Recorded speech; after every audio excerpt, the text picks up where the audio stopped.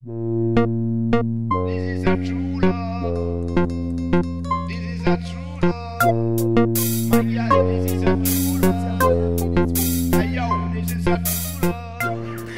Leute, in dem Video geht es um Bücher, Filme, ähm, die mich auf meinem Weg weitergebracht haben, die mir wirklich weitergeholfen haben, die ich euch mal empfehlen würde oder euch einfach mal als Inspiration darlegen wollte. So.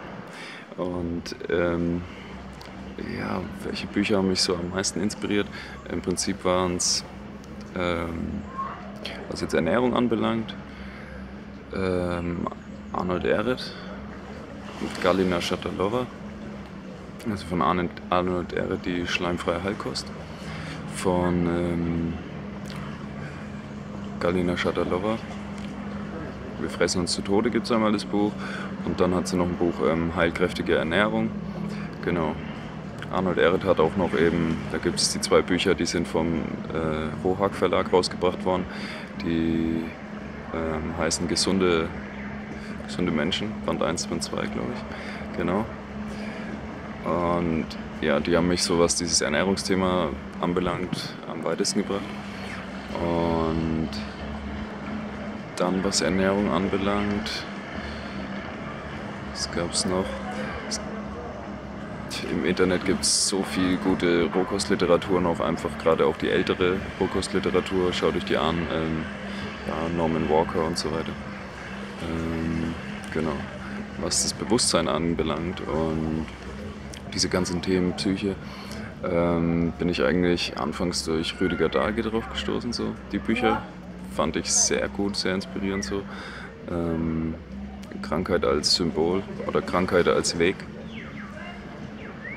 ja, hat mich sehr inspiriert und das Ganze wirklich sehr angestoßen, so was die Psyche anbelangt.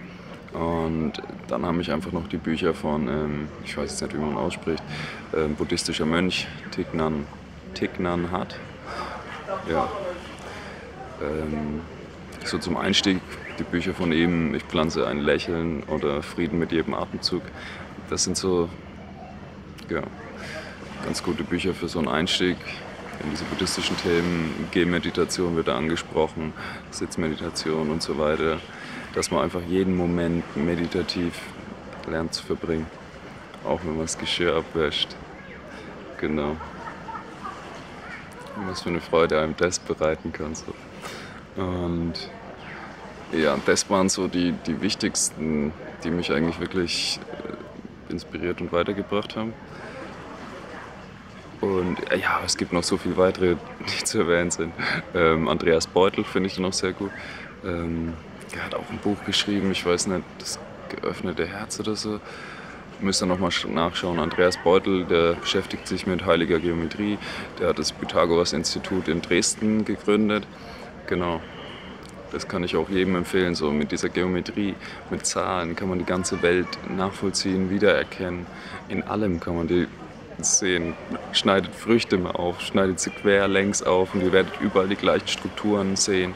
Viele Früchte haben eine Fünferstruktur zum Beispiel, so wenn einen Apfel aufschneidet, man nicht wie normal, sondern horizontal, so je nachdem wie er liegt, mit dem Sprung nach oben horizontal durchschneiden. Und Papaya auch diese Fünferstruktur, Banane, Gurke hat so immer eine Dreierstruktur. Schneidet, schneidet die Sachen mal auf ähm, auf verschiedene Weisen. Ihr werdet überall die gleichen Geometrien, Formen, verschiedene Farben entdecken. Aber im Grunde ist alles aus den gleichen Strukturen aufgebaut. Mal klein, mal groß. Ja. Und Andreas Beutel kann ich einfach jedem empfehlen. Es gibt auch sehr gute Vorträge von Andreas Beutel auf YouTube. Gibt es einfach mal an. Heilige Geometrie, Andreas Beutel. Genau. Und auch von Rüdiger Dahlke gibt es sehr gute Vorträge auf YouTube, finde ich. Die haben mich auch sehr weitergebracht anfangs. Und genau. Dann eben was Ernährung anbelangt, so alte Rohkostliteratur, wie gesagt. Ähm, welches Buch ist noch zu erwähnen? Genau, die neue Medizin des Bewusstseins finde ich noch sehr erwähnenswert. So. Da sind einfach Studien angebracht alle möglichen neueren Forschungen, wo wirklich die Abhängigkeit vom Bewusstsein gezeigt wird auf die Dinge, wie sie ablaufen.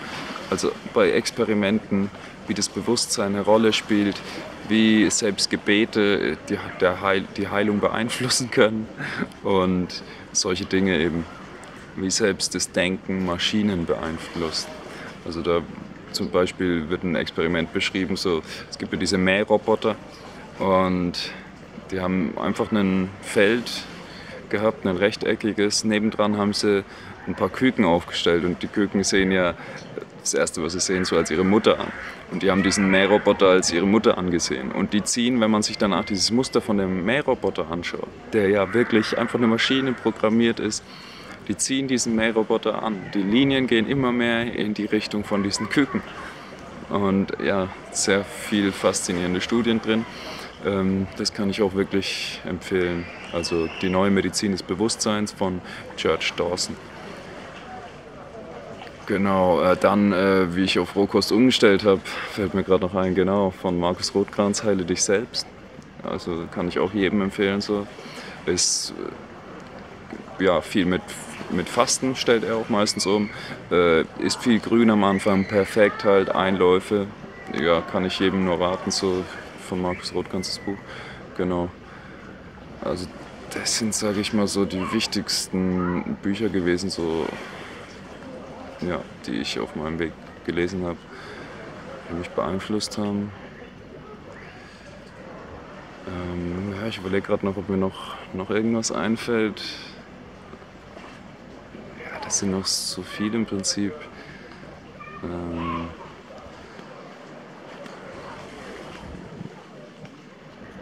aber das dürfte eigentlich so ziemlich gewesen sein. Das waren auf jeden Fall die wichtigsten.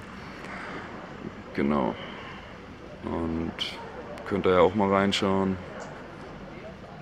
Ich meine, für jeden ist es einfach immer eigen. Man muss genau das finden, was einen anspricht. So, mich haben die angesprochen. Viele Wege führen nach Rom, sag ich mal. Und im Endeffekt ist es egal, welchen Weg man wählt. So. Es ist wie wenn man die Welt umrunden will. Man muss nur in eine Richtung dranbleiben wenn man nicht ständig die Richtung wechselt, dann kommt man wieder am gleichen Platz an. So. Und genau, also wählt das, was euch anspricht. So. Das ist das, was mich angesprochen hat. Und ja, es muss einfach es Spaß machen. Dieser Weg muss einem ja, mit Freude praktiziert werden, sonst bringt es einfach nichts. Genau. Ansonsten macht's gut, Leute. Bis dann. Ciao.